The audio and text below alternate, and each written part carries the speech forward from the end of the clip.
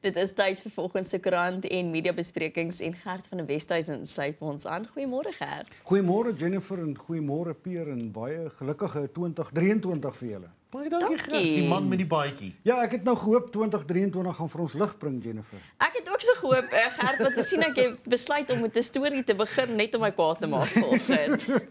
ja, ons het nou sommer fase 6 weer. Dit is nou skaars hoe wanneer dit die 8de Januarie was Sondag toe die president beloof hy gaan nou planne gemaak word. En nou sit ons met fase 6, maar dit is besig om 'n baie baie groot krisis te ja. word ja. nie. En ek sien ook daar is nou sprake dat die skuld afgeskryf gaan word van byvoorbeeld Soweto wat nie vir Eskom betaal nie. Dis een van die probleme wat Eskom het is die stadsrade betaal hom nie. Mm. Weet as jy vir Soweto sê hy hoef nie te betaal nie, dan gaan Parys sê maar hy kan ook nie betaal nie. En Harry ja. Smit gaan sê hy kan ook nie betaal nie. En wie ander ewer ook geld skuld gaan sê hulle kan ook nie betaal nie.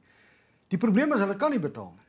So ek weet nie wat gaan gebeur nie. Jy sal dit seker maar moet afskryf, maar dan moet jy begin om reëlings te tref as mense nie vir krag betaal nie, kry hulle eenvoudig nie krag. So dit was dalk nie net 'n voorverkiesing, 'n plaaslike verkiesing 'n stemwen proses toe hulle gesê het ons gaan dalk so hê so. Ja, nee, Pier, maar jy weet as jy so het toe vrysgeld, dan moet jy die ander mense ook vrygeld en die, die, die stadsraad het nie geld nie, hulle mors die geld. Hulle die mense betaal daarvoor baie in baie plekke, maar dan kom die geld nie uit waar dit moet uitkom.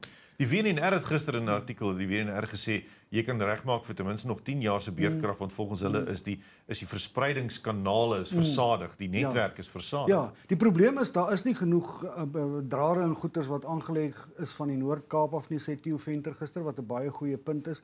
Die ander probleme wat ons het is dat hulle nou dit gaan nou weer skuif. Eskom gaan nou skuif na Gwerie Montage. So hy gaan die minister word. So dit vat jou gewoonlik sê iemand vir my 6 tot 7 maande met change management. Ek weet nie wat se mooi Afrikaanse woord nie, ja. verandering van bestuur vir mense om dit weer gewoon te raak, jy weet. Die groot probleem is hulle sal ergens 'n mediumtermyn plan moet maak. Ja. Hmm. Iewers moet ons 'n plan maak. Moet ons nou meer diesel invoer? Moet ons diesel verbrand? Moet ons die kragskepe kry waaroor almal praat? Jy kan net nie 'n 20 jaar kontrak teken nie, want soos iemand reg opmerk wat nogal in die ANC is, dan gaan dit weer tot baie korrupsie lei. Ja. So jy moet maar ons sal ergens 'n mediumtermyn plan moet tref want jy kan nie fase 6 hê nee. en nou duur dit sommer net voor tot verdere kennisgewing nie. En ek dink ook eh, ons hoor ook vandag wat die jy weet die krag ja. hoeveel ons gaan betaal, hoeveel ekstra ons gaan betaal vir krag en ek dink mense is moedeloos en hulle is frustreerd en jy kan dit verstaan want ja. ek, ek weet ek kla altyd oor die klag maar fase 6 is net mm. daai stapie vir my te ver wat ek nou my sin vir ja. môre besig is om te verloor. Maar verstaan en dan hoor jy okay jy gaan nou 20% mm. ek raai nou 20% mm. meer gaan betaal vir krag wat jy nie het nie. Ja. Hmm. Maar so jy gaan gelukkig seker nie te veel betaal nie want jy het nooit krag om voor te betaal. maar die probleem is, jy weet die ANC het voor hulle konferensie gesê hulle is baie bekommerd oor beerdkrag want beerdkrag is besig om vir hulle stemme te kos. En alles wat die jaar gebeur, soos Theo Venter ook sê, is staan in die lig van 2024 se verkiesing. So hulle ja. gaan met baie ander triks en goed kom maar die mense is bekommerd oor beerdkrag. Beerkrag, beerkrag, beerkrag, dit gaan vir hulle nog steen kos as hulle so aanhou. Die probleem is mense staan gevaar om hulle werke te verloor. Ja. Ons het klaar genoeg werkloosheid. Jy weet nie, die ekonomie ly geweldig daaronder. Ek weet en ek dink die gemoed van die nasie is ook nie wat dit moet wees nie. Ja. As jy na 'n harde dag se werk 6 uur by die huis kom, dan is dit beerkrag tot 11:30. Jy kan nie kook nie. Jy kan nie kook nie. Jy kan eintlik niks doen nie. Jy kan hmm. maar net daar sit en hoop dit word weer een of ander tyd lig. Mm. Sjoe. Gert, dan nog 'n interessante artikel, die partye moet saamwerk. Ja, ons het mos al baie oor koalisies gepraat hierso en ek weet nie of ons altyd saamstem nie, maar die Brent is stigting het nou 'n peiling gedoen. Die ANC sal nou sê dis wit monopolie kapitaal want alles wat die Brent stigting bevind het is omtrent wat die teen wat die ANC sê.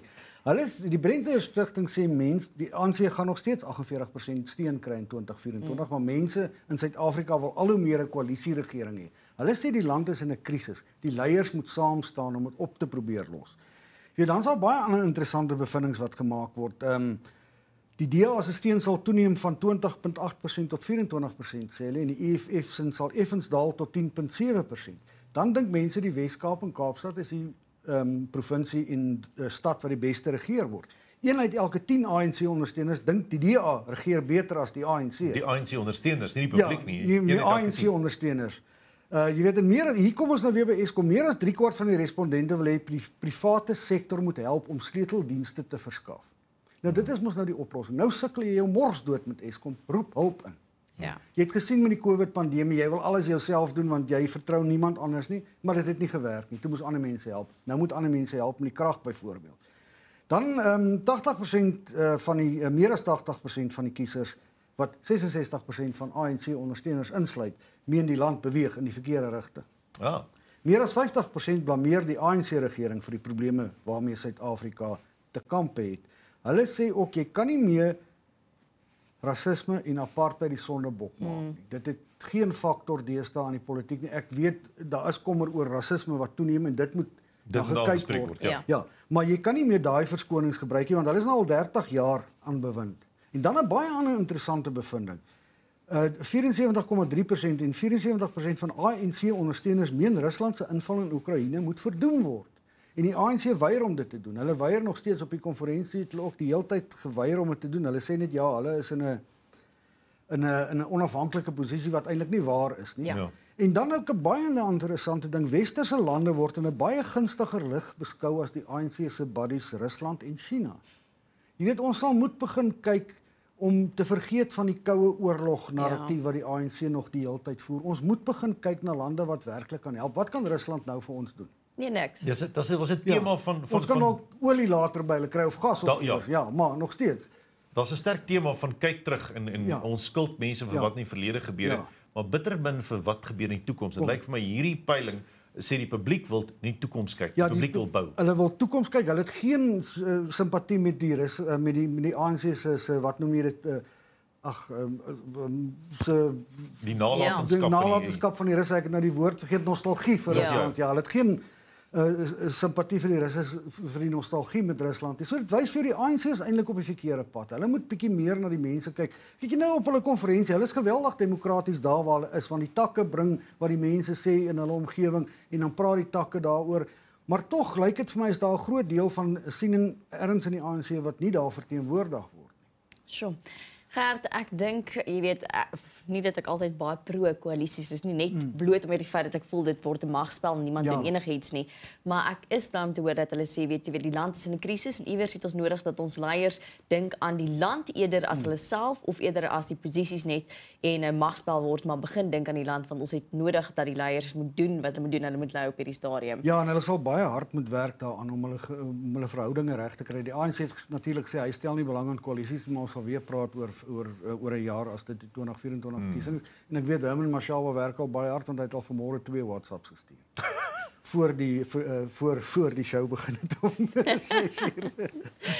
Gaan ons nog baie waaroor ons moet praat. Ons moet praat oor die lijk wat verbrand word. Ons moet praat oor die taakspan wat ontplooi is, maar dit gebeur alles na die advertensiebreek.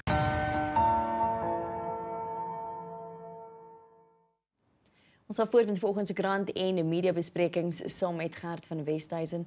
Gert, 'n groot storie in die koerant op hierdie stadium is daai lyke wat verbrand was in Mosambiek. Ja, ek weet nie of julle die video gesien het nie. Dit mhm. is nogal gruwelik. Uh en baie mense het nou gereageer en sommer dadelik gesê nee, hier moet nou gestraf word en dit en dat moet gedoen word. Ek praat ek gister met Romer, Helmut Romer, hy my daai bekende militêre kenner. Hy het my weer 'n belangrike les geleer. Hy sê ons 'n bietjie konteks probeer vasstel eers want ons het absoluut geen konteks. Mm. Daar's een Suid-Afrikaanse soldaat wat die voorval afneem met sy selfoon kamera. Verder weet ons nie wat dit vooraf gegaan het nie. Ons weet nie wie se lyke dit is nie.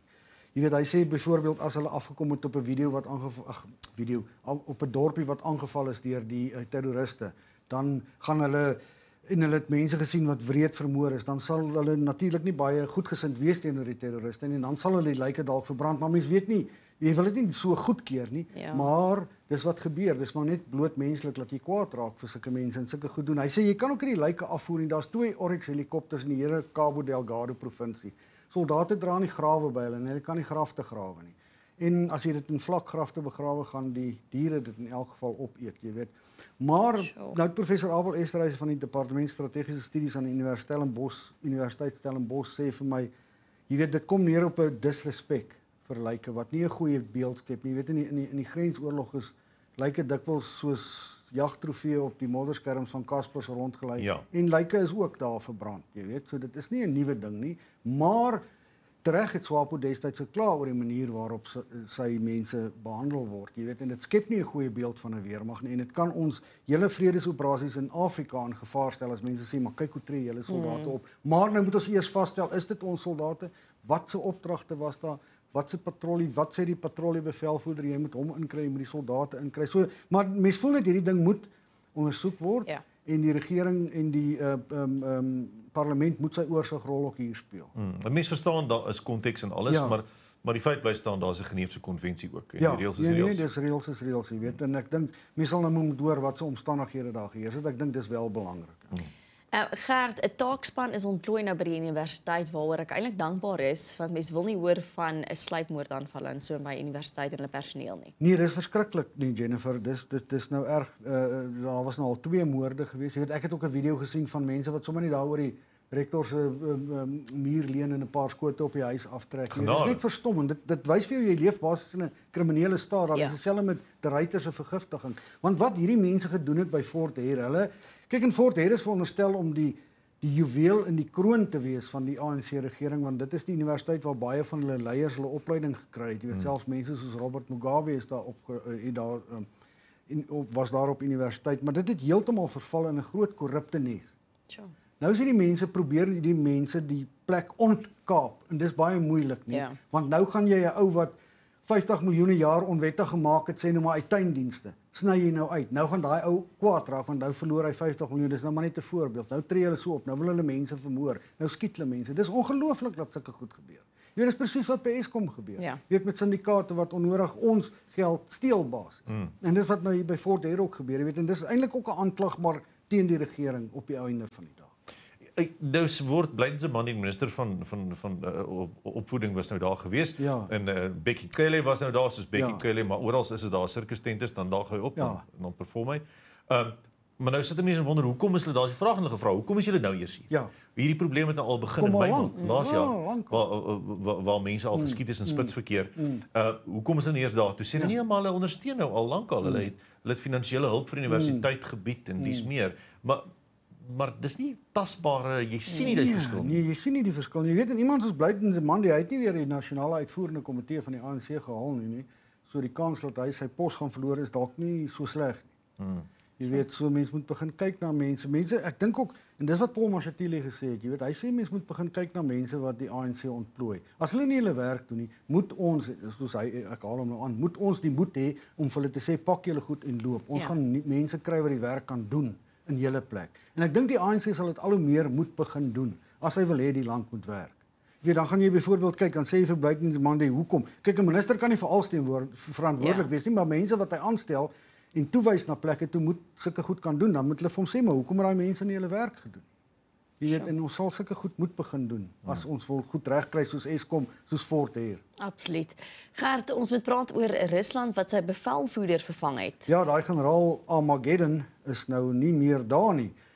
Ehm um, nou, nou is generaal Gerasimov, ek kan dit uitspreek. hy is stafhoof uh, van die uh, van die Russiese weermag sedert 2012. Hy neem nou oor by generaal ehm um, um, Sergei Surovikin of so iets wat so wat ja, generaal Armageddon was. Nou ja, mense sê dit is dit is 'n aanleiding dalk dat die vorige die man wat nou vervang word nie sy werk gedoen nie. Ander sê dit kan nou daarop dui dat die aanslag verhewig gaan word want die vorige bevelvoerder het natuurlik ook hier in die winter allerlei energie aanlegte en goed aangeval sodat die die mense van Oekraïne in die winter het hulle in die donker en die koue gesit. So dit raak net 'n verskriklike oorlog en dit is al amper 'n jaar nie. Ja, die 24ste Februarie is die jaar. Dis 'n jaar en ek sien mense het nou gesê die in Europa verwag mense maar 'n oorlog wat baie lank gaan aanhou. Ja, dis hartseer dis werklik uit my hart gaan uit na die mense toe wat ja. in daai land moet bly ja. en om te dink dis jaar en, en mense vergeet ook ek dink ons het dit al vroeër van die mense vergeet ook eintlik al so baie van hierdie lande waar ja. daar oorloë steeds plaasvind. Ja. Um, jy weet dis vars nuus en dan onthou jy dit mm. en, en dan word dit eintlik maar net ou nuus die mense vergeet half daarvan en dis ons hartseer. Ja, jy weet soos die oorlog in Mosambiek byvoorbeeld die hele wêreld se media sit nie in Mosambiek nie. So ons vergeet van daai oorlog. Die hele ja. wêreld se media sit nie in Jemen nie. Ons vergeet mm. van daai oorlog, jy weet. En dit is baie hartseer. Oekraïne is 'n arm land en alles word nou vernietig. Hoe gaan jy dit weer opbou? Sjoe, dit is 'n ja. groot vraag. Gert, ek wil gou spring na die storie geraamte van Reus uiteindelik uit Britse museum. Baie sien, dis my baie hartseer storie eintlik Jennifer. Dit is van 'n van 'n 18de eeuse uur ehm um, hy is hy Gabriel Byrne, wat is sy naam gewees? Charles Byrne. Hy was verskriklik lank soos jy kan sien op daai sketsie wat daar is. Hy het bo ander mense uitgetroon En hy het in 'n stadium in sy lewe geld daaruit gemaak om homself tentoon te stel, jy weet by plekke en te sê kyk hoe lank ek is. Kyk hoe lank is ek, jy weet en toe het hy nou geld gemaak daarvoor, maar hy was baie bang as hy doodgaan. Gaan hulle lykrowers sy uh, sy want daai tyd het baie geweer dat lykrowers uh, lyke gaan steel het vir die mediese professie en dan het hulle nou maar so die lyke gedissekteer en so en veral die man wat die museum daar begin het John Hunter. En hy het toe uiteindelik mense omgepraat om die lyk vir hulle te gee. Nou is die ehm um, geraamte was baie lank uitgestal in die museum. Ek dink vir 200 jaar ja. of ek dit nie mis dit nie, maar nou gaan hulle dit verwyder wat ek dink baie nice. As jy weet, 'n mens wonder altyd wat word van jou liggaam nou kom mense weer terug na die verbranding van die lyke ook nie. Hmm. En 'n mens wonder die mediese wetenskap moet nou uit uiteraard op lyke en so oefen, maar jy weet, moet jy nou 'n ou se geraamte tentoonstel teen sy wil. Die geraamte gaan nou verwyder word en mense wat dit vir mediese redes wil bestudeer, kan dit dan doen. Sjoe. Gert, ek wil so vinnig praat oor want hierdie is nou iets wat ek ook nogal kwaad oor raak en dit is die sitplek ja. in die vliegtuig wat agteruit kan gaan want as ek so sit en iemand se sitplek sit nie ja. by my neus en dan gaan ek iets voorkom. Ja, dan moet jy so hier van onderaf dat die vlieg kyk om dit raak te sien en so aan. En 'n mens hoop tog ja, jy weet kan verstaan op lang vlugte is dit nogal 'n probleem, maar lyk like my nou uh, lugrederye begin van dit ontslaa raak want daar's 'n paar redes. Die eerste een is enige iets wat met 'n meganisme werk wat draai of beweeg of so kan breek en dan sit ekstra instandhouding koste en dan is daar natuurlik ook dit bring ekstra gewig in die vliegtyg, die um, meganisme ah. wat werk en dan die belangrikste punt sê hulle is wel mee passasiers wat mekaar te ly wil gaan om die sy sitplek te ver agter toe skuif. Jy weet so ek dink dit sal dalk 'n goeie ding wees. Jy moet maar maniere vind om om om om om te probeer oorleef sonder om jou sitplek agter te skuif want ek doen dit nooit want ek dink altyd aan die arme mens agter my. En ja, as jy dit skuif, mm, hulle doen dit ook. Ja, maar jy skuif dit so so bietjie, nie ja, al die pad. Ja, nie die al die pad. Jy kan nie eers sit. Party mense dan sit hulle omtrent hier op jou. Ek het dan weer die week toe gevlieg het. 'n Ander ding, mense wat baie groot is nê moet dalk ook dubbel sitplekke betaal. Dubbel sitplekke betaal want hmm. hier sit ek in my ou hoekie want jy kan nie beweeg nie want dit voel of die ander persoon heeltemal die helfte van jou sitplek vat, jy ja, weet. Ja, ja. Maar dit is daarom seker bietjie beter as iemand wat hierso in jou gesig sy sitplek het. Dubbel sitplek betaal, die probleem met pryse op hierdie stadium hmm. om te vlieg in Suid-Afrika. Gisterand 9.500 rand vir twee kaartjies Kaap toe en terug. Nie goeie aarde is jy ernstig. Ja, so ek ons moet dalk maar op 'n stadium begin praat oor die pryse van vlugte. Vlugte ook ja. Ek het mm. gelukkig nie betaal vir die vlugte nie, die werk het, maar ek, ek moet sê die SAL is daarom nog lekker want hulle het baie bietjie meer spasie as ander lugrederye. Mm, mm, mm. Gert, baie dankie vir die saamgesels vanoggend. Ons waardeer dit.